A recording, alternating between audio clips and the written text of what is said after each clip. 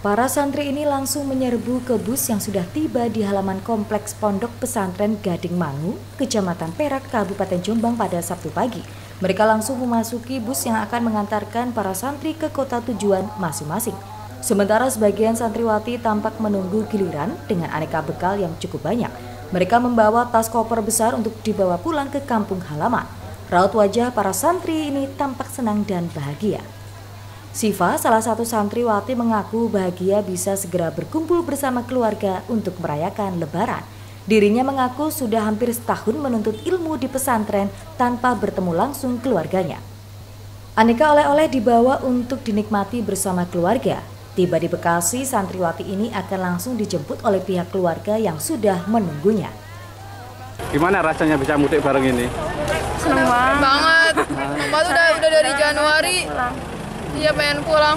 Terus setiap nelpon kayak pulang, pulang. Persiapannya apa aja ini untuk mudik ini? Ini ya baju oleh-oleh. oleh-oleh paling kerudung sih. Ya Quran, gitu. Quran hadis. Sudah berapa lama sih tidak pulang ini? Ada tujuh bulan. Agustus, Agustus, September, Oktober, November, Desember, Januari, Februari, Maret, April 8. Iya, bulan. Kira-kira nanti di sana dijemput siapa?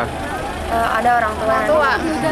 Sementara Totor Harjo, Humas Pesantren mengatakan hari ini ada 5.000 santri yang akan mudik ke sebagian kota di Jawa Timur, Jawa Tengah, Jawa Barat, Jabodetabek, hingga ke sejumlah kepulauan di luar Jawa. Pihak panitia sempat kebingungan menyiapkan tes antigen sebagai persyaratan mudik santri yang tidak booster.